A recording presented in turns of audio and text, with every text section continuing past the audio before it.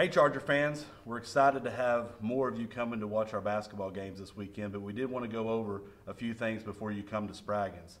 The first thing that you'll notice is that you probably have already received a mobile ticket, or perhaps you're going to purchase one online that could look something like this, or perhaps this, and you also may can just take a photo of it on your phone or use the PDF on your phone from your email. We're going to scan those whenever you come into uh, and we'll get you to the seat that you need to get to. Secondly, we won't be having any hard copies of any type of roster, so you'll see these codes all around Spragins. You can use your phone to capture that, and that will take you right to our website that'll have all of that information.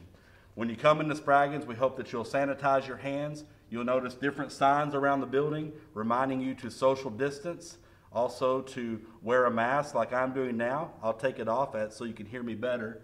Wear a mask the entire time that you're in the building and be sure that you stay six feet from everyone whenever possible, unless it's within your own family in the pod in which you'll be seating. Once you enter Spragins, if you have a downstairs ticket, you'll come past the ticket booth and enter the gym. If you see a sign like this, which will be right here in front of this first hallway, please do not cross into that area. Every fan needs to go down by the varsity room and enter through that door. They also need to exit through that door.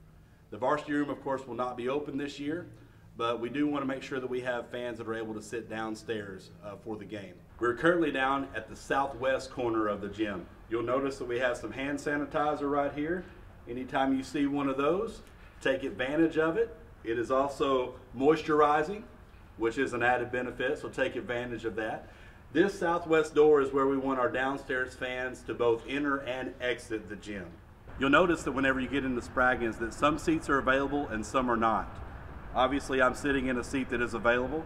The seat beside me has a strap on it, that seat is not. So be sure to only sit in the seats that are available and remember to wear your mask during the game. One more reminder, anytime you leave the gym, exit through the southwest corner of the gym. Please do not walk behind the basket towards the benches. That's not allowed for the NCAA through our COVID guidelines.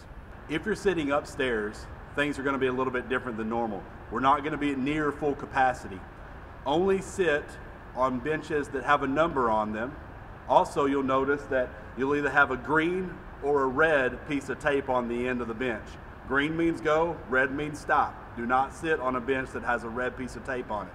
You'll see a letter which tells the section and a row number and a seat number on your ticket. Don't forget to wear your mask. As soon as the game is over, we request that you leave in the same way that you came in.